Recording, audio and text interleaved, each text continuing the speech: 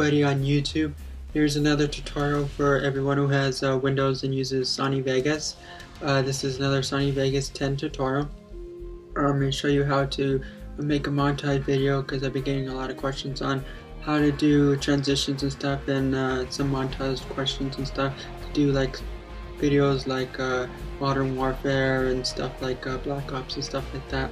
So uh, I'm going to get right into my virtual version of Windows on my Mac and uh, get right into Sony Vegas. Okay. If you want to uh, know how to change icons and stuff like that, let me know in the comments uh, if you want a uh, tutorial on how to do uh, change it and look like a Mac, your Windows and stuff. If you want to uh, know how to do that, I could do a tutorial for you in that as well. Okay, bring this window down a little bit. Okay, I'm going to show you uh, this section right here. Just a little bit what I've done to get it to follow the song and everything. Just to do something a little different. Okay. This is uh, to the Metal Gear game. Right here, uh, Metal Gear 4, and I have all the Metal Gear games, everything, and I have the clips and everything. Kind of little montage uh, just to show you how to edit a little bit and do a montage. So here what it look like. Okay. Let me uh, get it to play faster. So, to do that, if you have any problems with uh, your video clips not uh, playing uh, to the full speed, like like full time or whatever, just uh, press Shift B, and it should allow your clips to play in a um, like a lot better and to uh, not be so laggy a little bit. But you can only do like small sections, so like right here, it only let me do like a little bit so I can't go all the way to the end. Uh, that's kind of what I really don't like in uh, Sony Vegas since I've been using uh, Final Cut on my Mac and everything. I just don't like that. Uh, you can only preview a small section as you're editing and stuff. And But, uh, okay, here's what it looks like.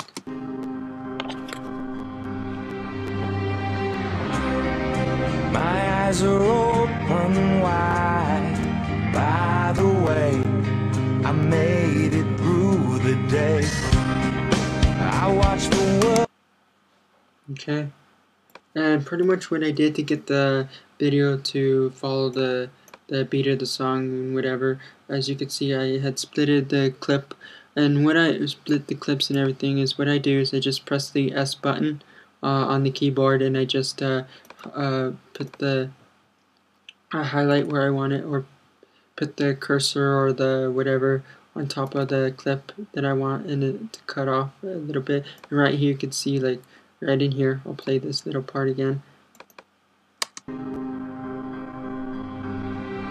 And you can kind of hear like uh, the the piano part like right in here. So what I did to get it to follow the the piano sound right in here, I just uh, split the clip right here, and all it is is just blank empty right there, and it kind of uh, acts as a trans like a transition, but instead of having a transition there, all I did was um, just uh, cut the clip, split it to however long the piano note I, I, I can hear in the song playing a little bit.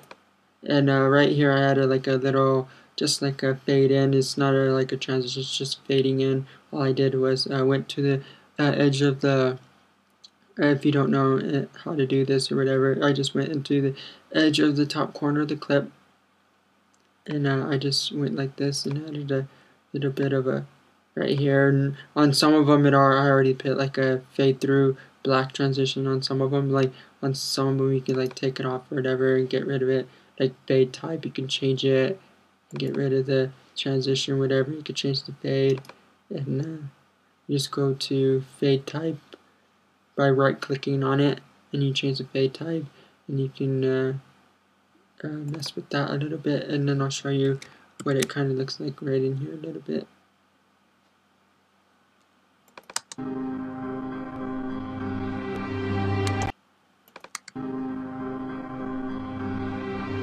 Depending on how fast you want it to happen, if you're trying to follow as much closely to the beat as much as you want to, uh, get it close to the beat. You could do whatever you want with the transition. Just go to the top corner and you just play around with it bit. You can drag on whatever transition you want, whatever. You can have it like that, or you can just cut it off and go with the fade type and whatever, however you want it to fade in like that.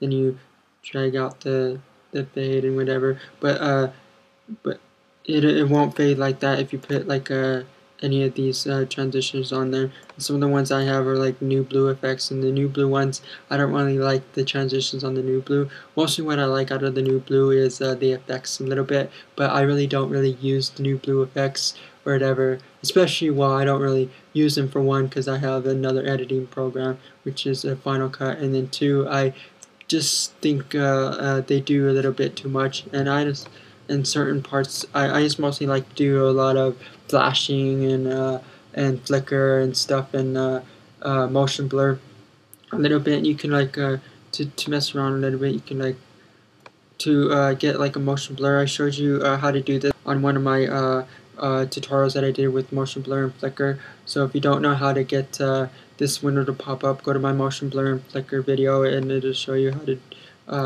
I'll show you how to get the motion blur to yeah, have some motion blur in your video for Sony Vegas. And uh, here's what you can do. You can add some. Uh, and I'll put a link at the end of the video to to go check out that video for motion blur.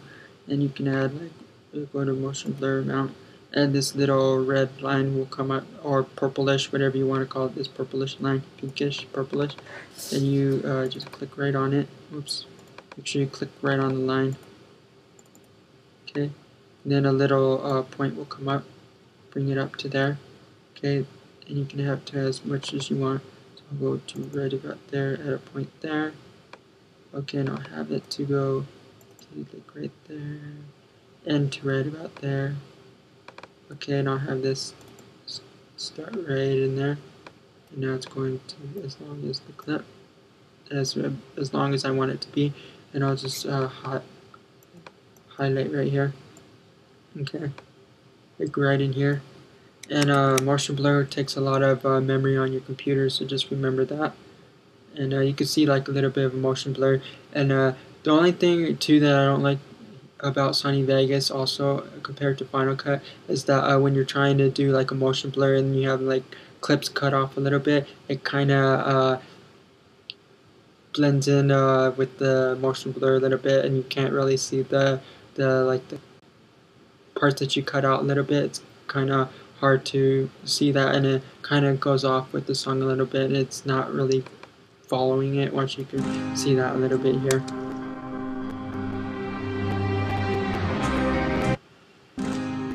See, it gets off a little bit from the song.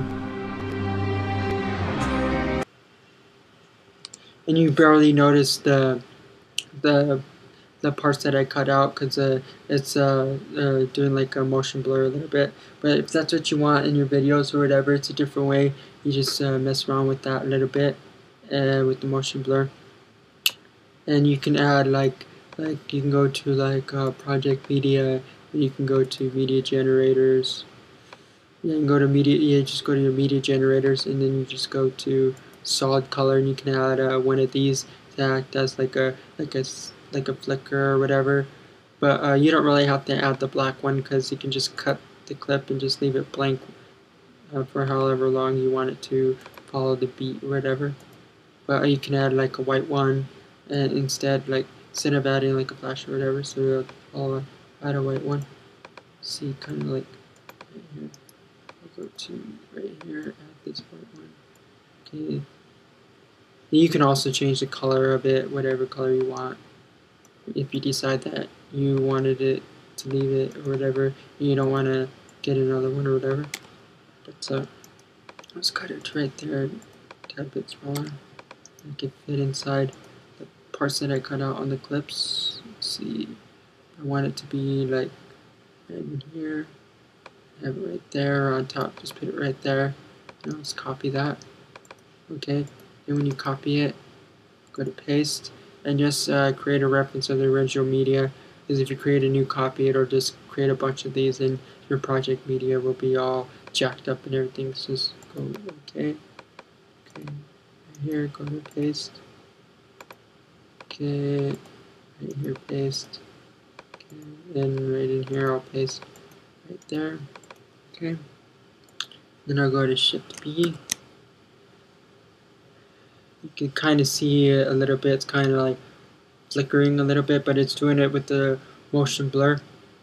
So it's doing it like a bit slow and everything. Because motion blur kind of makes your clips play a little slow.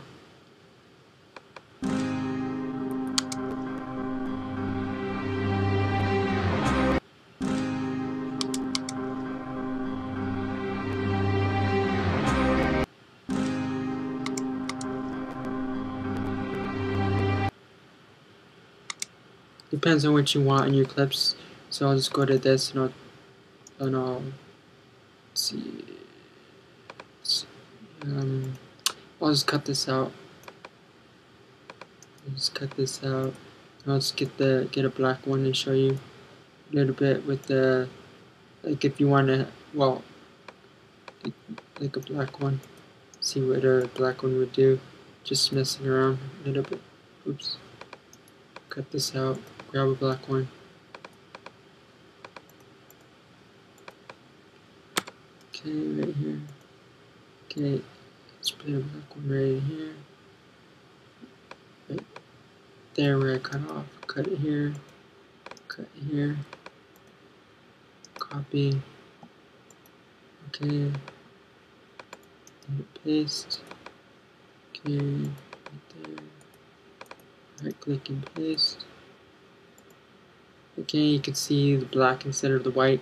And black might be better than white because uh, white adds kind of like too much flicker or whatever, too much you know, onto your clip or whatever. You could do the black a little bit. It doesn't show it that much.